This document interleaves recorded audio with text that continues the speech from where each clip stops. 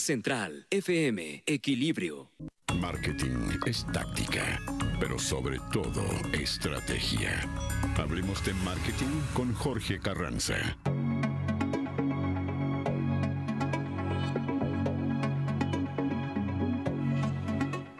Vamos directamente con mi querido Jorge Carranza, hablemos de marketing político y de marketing en lo general y sobre todo hablamos de pensamiento y de inteligencia con un hombre como tú, mi querido Rock. ¿Cómo estás? Buenos días, Jorge.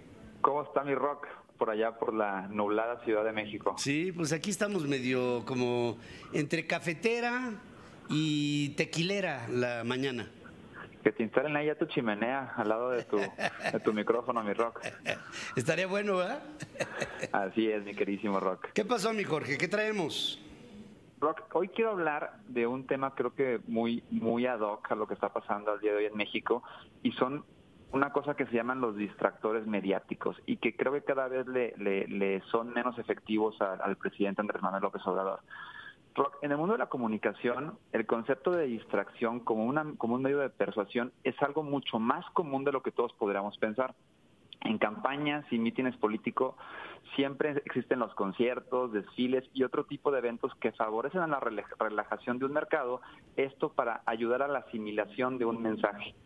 Esta técnica eh, hace que el mensaje sea más atractivo y aparte aumenta su eficiencia mediante una distracción inducida. Por poner un ejemplo, tú vas a un stand de cualquier tipo y te dan dulces, te dan bebidas y te ponen música para que ese mensaje persuasivo sea un poco más suave.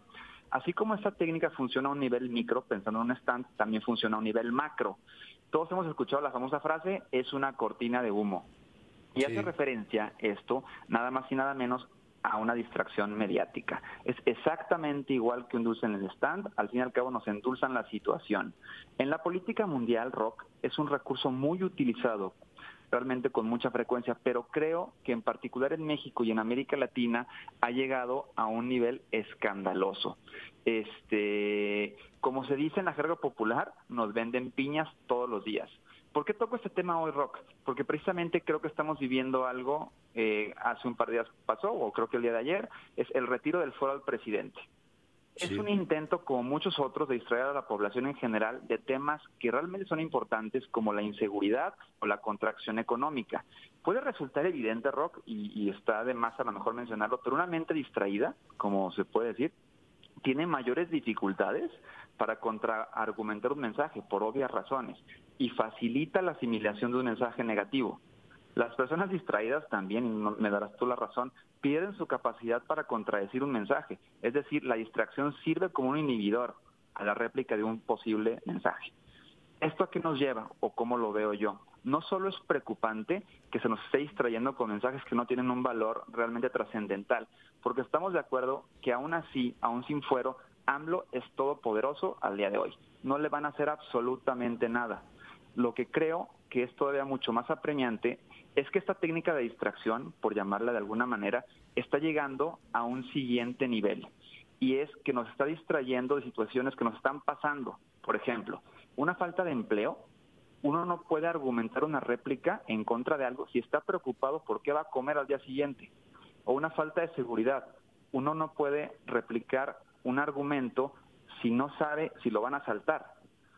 Esto te lo platico, Rock, porque la técnica de distracción es un arte y es una técnica ampliamente utilizada en el tema comercial o político, pero lo que sí me, sí me queda claro es que el gobierno actual no la sabe utilizar. Es muy diferente llegar a un stand o a una tienda y que te pongan música para poner el ambiente para cerrar una venta. Y otra es completamente diferente llegar y que esté la música tan fuerte que te confundan y te atonten. Creo, Rock, que eh, es por esto que el presidente ha caído de un ochenta y tantos de aceptación a un sesenta y tantos. ¿Sigue siendo popular? Sí, pero un 20% menos, que no es poca cosa. Creo que el gobierno tiene que generar realmente triunfos verdaderos, como por fin cerrar el TIMEC o lograr que la inseguridad descienda. Si ya entramos en dinámicas bíblicas, como dijo el presidente que se comparó con Jesús, él tiene que saber que no solo de pan vive el hombre. Oye, y cada vez menos de eso, ¿verdad? No, eh, pues ya, pues ya, ni, ya ni pan va a haber, yo creo. Ya ni pan va a haber, qué barbaridad. Pues sí, tienes toda la razón. esos distractores. Ayer yo me di cuenta claramente, Jorge, cuando sacaron los videos de Ovidio y su detención y su liberación, fue exactamente el mismo día en el que se ve un crecimiento negativo de la economía mexicana. ¿Cuáles eran las cabezas de ocho columnas? Pues justamente eh, el, el video de Ovidio, porque ya sabes que siempre nos vamos primero por el escándalo que por todo lo demás. Sí, realmente, lo voy a repetir, se escucha a lo mejor de repente medio feíto, pero es que nos venden piña rock. O sea, nos quieren, nos quieren confundir con una noticia con cero trascendencia para ocultar realmente un, un, un, tema muy preocupante. O sea, creo que el tema de la contracción económica, yo lo veo en mi círculo, yo lo veo, o sea, todo mundo lo está sintiendo, desde los más grandotototes hasta los más chiquititos.